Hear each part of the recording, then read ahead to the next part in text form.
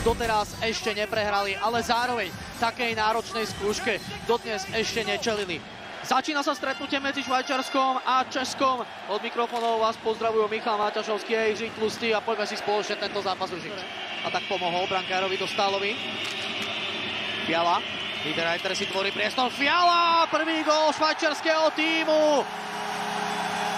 který dojížděl, ale Radko Gura se úplně otevřel a tady nechali Kevina Fialu hrozně volného a ten, podívejte se, kolik tam je místa.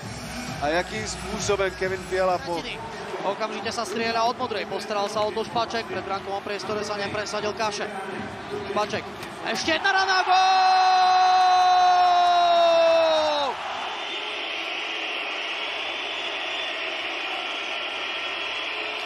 Andrike to nedal.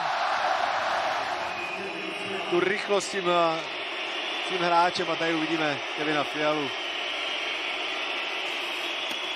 A Fiala si s prehľadom, krásný spomalený. V pohode sa presadil. Opravdu zkušený, zkušený blafák, tady podívejte se, jak si počkal, naznačil to, že půjde do pory. Beton, brankář se dostal. Za český tým je na ľade Matej Stránský. A dáva gól, vyrovnané 1-1.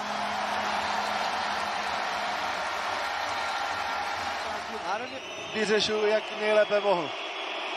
Kurašev je ďalší výborný technik a premieňa svoj talent a skvelé. Taky, taky si změnil trošku, trošku úhel střely. Ten kotou došel. Jakub Flek môžete skôr udržať ešte v hre obod. To sa mu nedarí. Švajčiari v tomto stretnutí získajú jeden navyše. Budú iba na konte dva. Česku ostáva len ten jeden